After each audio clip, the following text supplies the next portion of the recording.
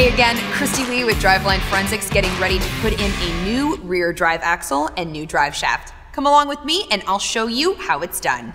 The tools you need for the job are a seal jack, a seal driver, lube, I like the Spicer lubricant from BASF, a dead blow hammer, a pry bar, a torque wrench, ratchet set, a socket wrench with metric and Allen sockets, an impact gun, safety straps, and rags. Ready? The vehicle is still in the same position from when we removed the drive axle and the drive shaft. We chocked the wheels, dropped the suspension, lifted it, and put weight-rated jack stands under the frame. We also disconnected the battery. Now we'll put everything back in the way we took it out. First, remove seals from the hubs with the seal jack. Be careful not to damage the sealing surfaces. Then clean and lube all the seal areas in the hub and drive the new seal with your seal driver. Don't damage these seals either. Do that on both sides.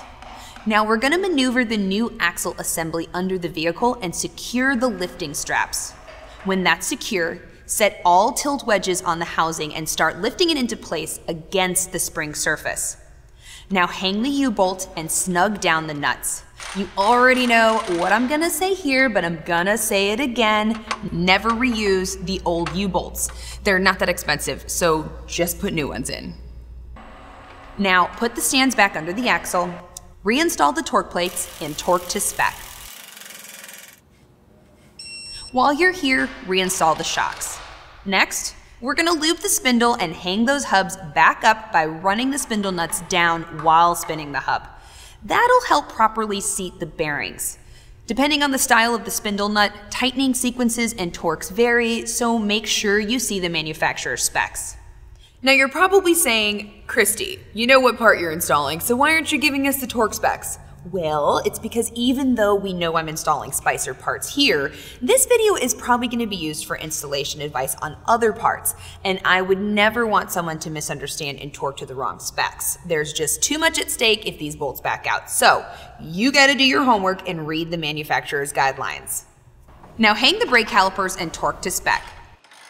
Hang the prop shaft to the axle companion. Install the axle shaft hang the tires, take away the stands, lower it down, and we're gonna fill the axle with our Spicer lubricant from BASF. Then reconnect the battery and take it for a test drive. That's all there is to it. This truck is ready to rock and roll. And hey, you know the deal. Whenever you have a repair or maintenance question, stop by and see me first. I'll be here to help you out.